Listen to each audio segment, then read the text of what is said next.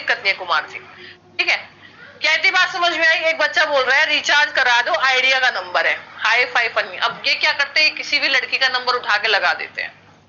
ठीक है? नेट खत्म हो गया रिचार्ज करवा दो। तो बेटा एक्चुअली में आप लोग क्लास में पढ़ रहे हो और यहाँ ये रिचार्ज की दुकान नहीं है।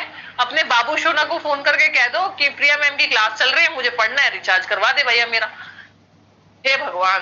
बेटा, इतनी बात समझ में आई? तो जब आपका खून से। इस वाले इस वाले क्या देखो ये देखो ये।